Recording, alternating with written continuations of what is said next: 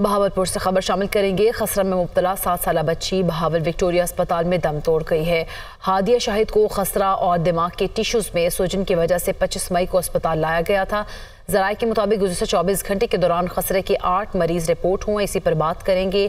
हमारे साथ मौजूद हैं मोहम्मद अकमल। जी मोहम्मद अकमल, बताइएगा, मरीज़ मजीद आठ भी रिपोर्ट हो चुकी हैं। क्या वजह है? इतने मरीज़ सामने आ रहे हैं खसरे के?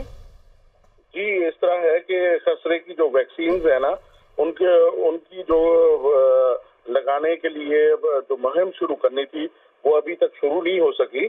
तो इस सिलसिले में जो है अक्सर मरीज़ जो है वो दाखिल हो रहे हैं और गर्मी की शिद्दत की वजह से भी मसला ये बढ़ रहा है।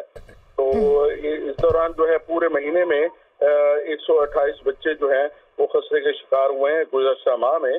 तो ये बहुत ही गंभीर मसला है और भावलपुर में और उसके मजाफात में बच्चों में खसरे की जो अलामत हैं, वो ज़्यादा पाई जा रही हैं। जी। सही, बहुत शुक्रिया मोहम्मद अकमल, आप हमें आगाह कर रहे थे।